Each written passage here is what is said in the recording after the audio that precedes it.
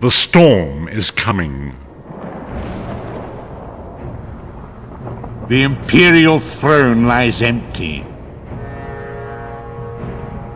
The scent of war swirls in the air.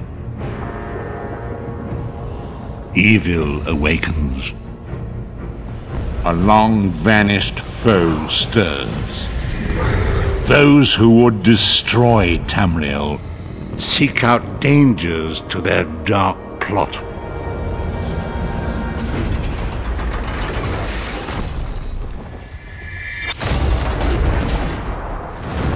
It is the 582nd year of the Second Era. The drums of war are sounding.